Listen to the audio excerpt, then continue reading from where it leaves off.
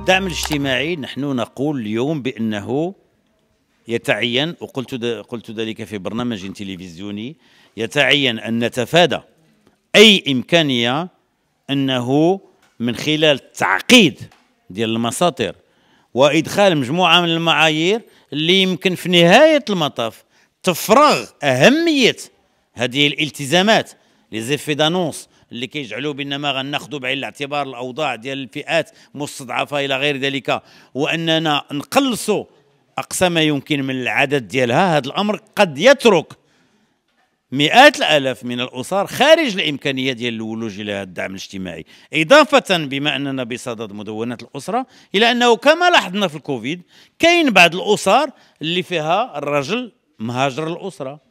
أو مغادرها أو موجود في الخارج ولكن لاحظنا بأنه لا يمكن للمرأة اللي كنسميهم النساء المعلقات أنهم ما كيمكن لهم لا يطلقوا ولا يبقوا مزوجين وفي آه، آه، هذا الأمر هذا ما كيمكن لهمش يوجلوا يولجوا إلى هذا الدعم. فلذلك نقول حذري من من أن تتكرر الأمور اللي عشناها أثناء الكوفيد من أجل حفظ خاصة الأسر اللي كتعيلها عمليا بشكل عملي آه، امرأة.